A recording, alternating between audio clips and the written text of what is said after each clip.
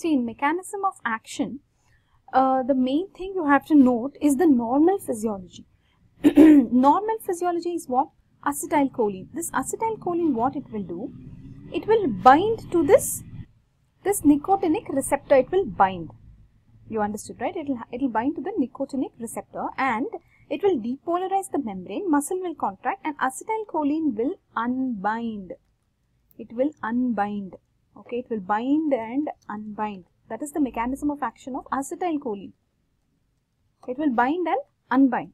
So the muscle goes back to the state where it can can be depolarized again. So there can be a muscle contraction again. But the way succinylcholine works, succinylcholine is a synthetic compound by the way. The, the way succinylcholine works, it's a drug, right? It's a drug to relax the muscle. The way succinylcholine works, it will bind to this receptor and it will remain bound. Please note this point. It remains bound to the receptor. So what happens as it remains bound to the receptor, only initially there will be depolarization. Okay. And there can be muscle contractions. However, as it remains bound, the muscle, the membrane cannot get it will be the membrane itself will be desensitized. This is kind of a membrane which wants somebody to bind and unbind every time. And somebody should come and bind every time for it to depolarize. So when succinylcholine is sitting there there is no chance of somebody coming and exciting it again. You understood right? This is the main thing you have to focus on. And succinylcholine uh, whenever you're explaining the mechanism there are two phases phase 1 and phase 2 phase 1 is where there is depolarization right? And there is muscle contraction and phase 2 is where there is flaccid paralysis because it continues to be bound. As it continues to be bound, what happens? There is desensitization of the membrane. Desensitization of the membrane because of which there will be flaccid paralysis. See, in mechanism of action, I would suggest that first you look at this uh, physiology of uh, skeletal muscle contraction. This is the diagram. Same thing, uh, acetylcholine comes here, binds to the NM uh, receptor, nicotinic receptor. Then it will depolarize this and there will be an end-plate potential. The muscle will contract, the muscle uh, NMJ neuromuscular junction will get repolarized and it will be ready for the next acetylcholine. This acetylcholine will bind and it will get released and it will be destroyed by acetylcholine acetylcholinesterase. Okay, this is the normal physiology. Acetylcholine comes, binds, depolarizes it, end plate potential will be there, and then there is a uh, acetylcholine is uh, released, acetylcholine is destroyed, muscle membrane gets repolarized, ready for the next potential, right? After it de depolarizes and there is end plate potential, that is when your muscle contracts. So same thing explained here.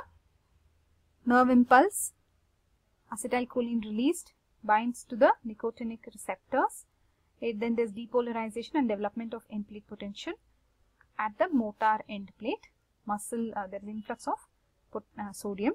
Now there is a muscle action potential. So this is an action potential and there is contraction of the skeletal muscle. Then what will happen? Acetylcholine is inactivated by cholinesterase leading to the repolarization of the neuromuscular junction. Muscle is ready for nerve impulse. This is the normal physiology. Now that you have explained the normal muscle physiology, let us look at how succinylcholine works. Now succinylcholine, what it does, it will bind to the same site as acetylcholine. But the thing with succinylcholine is it will not detach like acetylcholine. Okay. So there are two phases of um, block, the phase 1 block is where there is persistent depolarization. It has attached and it is there is persistent depolarization. So what will happen? There will be muscle twitch and fasciculations that you can see that will be followed by paralysis. Okay, flaccid paralysis. Okay because of prolonged depolarization. Okay, there will be a lot of muscle twitches. Fine. Now, what you need to know is phase 2. Now, phase 2 block, what happens? This is slow in onset, they are saying. The muscle uh, membrane is nearly repolarized. However, nobody can bind. Why? because succinylcholine is still sitting there. So the muscle will have flaccid paralysis here also. Okay, here this is flaccid paralysis similar to competitive or non-depolarizing block. Okay. So here what happens, the word you have to remember is the muscle membrane is repolarized. So here there is continued relaxation of the muscle. Okay. So let me uh, summarize for you phase 1 and phase 2. In phase 1 what happens? There is persistent depolarization. Okay. And there is muscle twitch and fasciculations. There are repeated action potentials, right? Now what happens? This uh, uh, succinylcholine continues to be bound.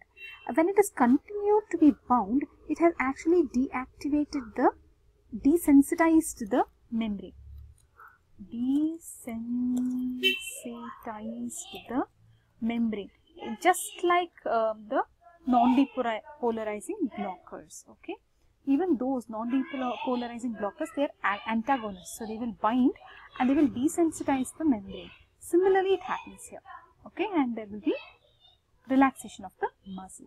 Finally, what? The succinylcholine has to be destroyed, right? And then the membrane can become normal. Just revising what we have seen in this video, we are looking at succinylcholine, which is a depolarizing uh, skeletal muscle relaxant that works peripherally on the neuromuscular junction. Okay, it's also called as suxamethonium.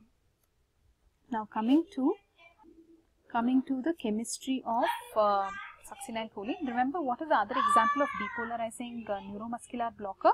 It is decamethonium. Uh, succinylcholine basically it has slender structure. You can see it is a quaternary ammonium compound. It is slender and flexible, and it looks like uh, it is similar to two acetylcholines joined together.